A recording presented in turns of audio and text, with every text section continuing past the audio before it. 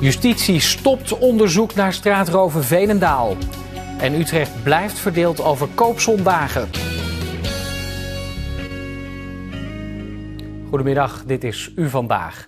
Een zware tegenvaller voor de Veenendalers die drie jaar geleden slachtoffer werden van een groep straatrovers. Justitie heeft niet genoeg bewijs en heeft de zaak geseponeerd.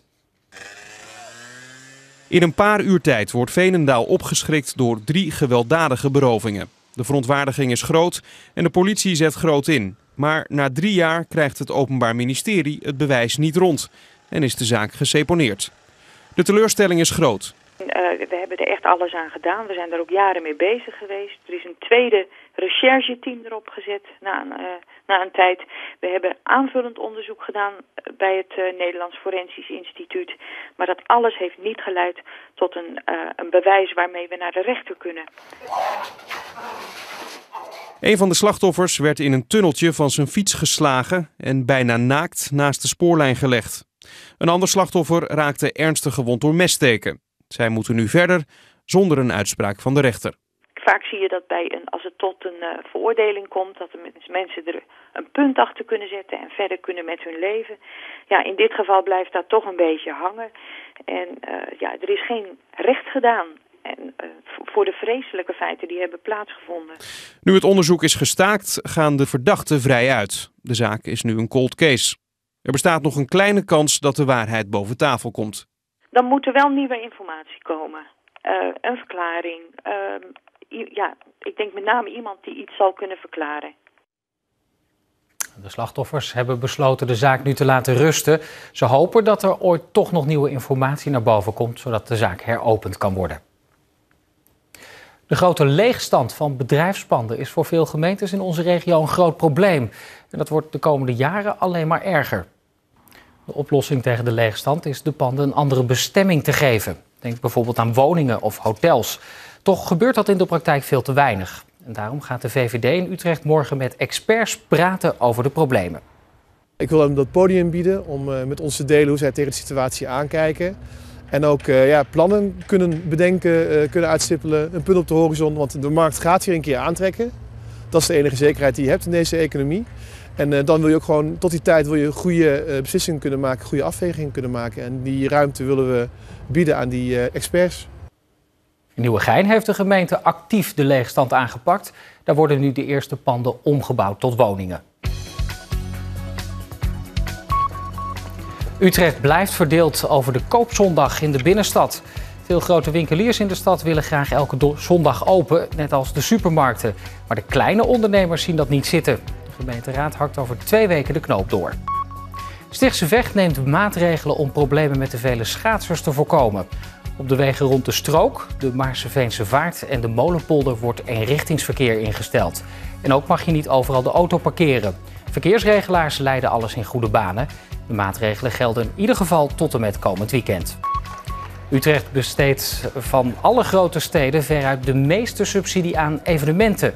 In 2011 ging het om meer dan 5,5 miljoen euro. Bijna de helft van het geld ging dat jaar naar de vrede van Utrecht. De omvangrijke subsidie is overigens geen garantie voor succes. Amsterdam geeft maar een half miljoen euro meer uit aan evenementen, maar daar komen veel meer bezoekers op af. Amersfoort gaat clubs en verenigingen helpen met het zoeken naar goedkope onderkomens. Door bezuinigingen hebben buurtverenigingen, kaartclubs en zangkoren geen onderdak meer. De gemeente zoekt naar goedkope ruimtes waar verenigingen tegen een laag tarief kunnen huren zonder dat het de gemeente geld kost. Historische verenigingen in Utrecht stappen naar de rechter om de sloop van het Gerrit Rietveld College tegen te houden. Gewoon afblijven, wat leuks van maken, er valt van alles mee te doen. De gemeente wil op de plek van de middelbare school nieuwbouw neerzetten. Maar dat is doodzonde, zeggen de verenigingen. Ze vinden het Rietveld College een heel bijzonder gebouw, neergezet in de jaren 60 door een gerenommeerd architectenbureau. De sloop van het Rietveld is een groot verlies voor Utrecht. Het idee was toen veel uh, licht, lucht en ruimte te creëren binnen de stad. En dat zie je zowel stedenbouwkundig. Overvecht is daar een heel mooi voorbeeld van. Je kan er een hoop van zeggen, maar het is de groenste wijk van de stad. En ook uh, in de gebouwen zie je dat weerspiegeld. Hier zie je bijvoorbeeld een mooie binnenplaats, groene ruimte eromheen. Heel veel ramen, heel veel licht in het gebouw. Het Rietveld is niet het enige gebouw waar de verenigingen zich zorgen over maken. De afgelopen jaren zijn er meerdere historische panden zomaar afgebroken. De zwembad De Kromme Rijn in Utrecht gaat na een ingrijpende verbouwing eindelijk weer open. Buitenbad heeft een dak gekregen dat in de zomer open kan. En dit jaar is er ook al gelijk een groot evenement. Het Europees Jeugd Olympisch Festival. Het zwembad ligt er spiegelglad bij als de toernooidirecteur van het Olympisch Festival alvast een kijkje komt nemen. Voormalig topzwemmer Pieter van der Hogeband is erg blij met het nieuwe zwembad. Het mooie van, het, van, het, eh, van een uh, nieuw zwembad waar niemand nog in zwemt is het vlakke water. En als uh, uh, oud zwemmer was ik altijd op zoek naar mooi vlak water, zodat je perfect met je techniek zo hard mogelijk naar de overkant kon, kon zwemmen. De Kromme Rijn is helemaal herbouwd.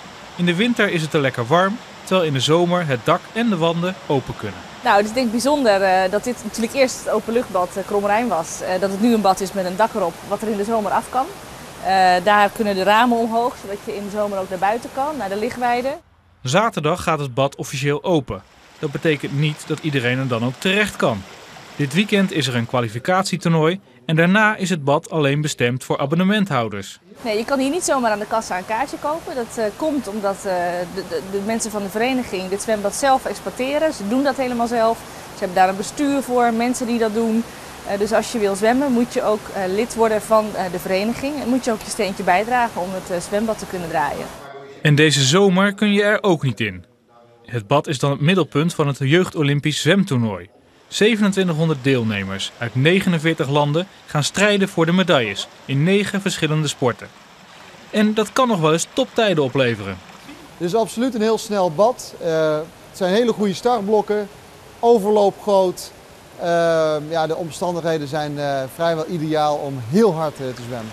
Of dat ook gaat gebeuren, weten we vanaf 14 juli, als het toernooi begint. Dat nieuwe zwembad De Kromme Rijn ziet er mooi uit en gaat in de zomer van 2014 echt open voor publiek. De politie is op zoek naar de man die een sigarenwinkel in Utrecht probeerde te overvallen. Het gebeurde op zaterdag 5 januari in de winkel aan de Jan van Skorrelstraat. De gemaskerde man komt binnen en dreigt meteen met een mes. De vrouw achter de balie laat op haar beurt een klauwhamer zien en drukt de alarmknop in. Nou, daardoor druipt de overvaller af. Straks in ons uh, opsporingsprogramma Bureau Hengeveld meer over deze zaak. En Zagarko, waar ga je het nog meer over hebben straks? Nou, Rob, ook aandacht voor een bizarre zaak die zich afspeelt in een Utrechtse kroeg. Een uh, jongen probeert daar een meisje te versieren, maar het meisje heeft daar helemaal geen zin in en wijst hem dus af. Die jongen kan er nogal moeilijk mee omgaan blijkbaar, want opeens bijt hij haar heel erg hard in haar wang. Ja, dat meisje schrikt enorm, maar ze heeft wel de tegenwoordigheid van geest om die jongen op de foto te zetten. De jongen die dat dus gedaan heeft in die foto, die laten we straks zien in de hoop dat die jongen herkend wordt. Ook laten we bewakingsbeeld zien van twee mannen die in de Douglas in Nieuwegein veel parfum stelen. Vooral Chanel vinden ze een erg interessant merk.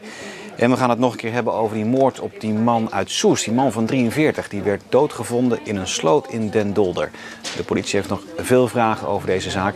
Dus hopelijk kijken er weer veel mensen en krijgen we nog meer tips binnen. Sagarko, dankjewel voor nu. Dan krijgt u nog het weer. Het is een mooie winterdag met wat zon en ook wat bewolking. Met 5 graden onder nul is het wel weer koud. En ook morgen is het zonnig, afgewisseld door wolkenvelden. Het is dan droog en de temperatuur blijft een paar graden onder nul. Tot zover u vandaag. Om 5 uur dan zijn we er weer met onze lange uitzending. Graag tot dan en voor nu een fijne dag.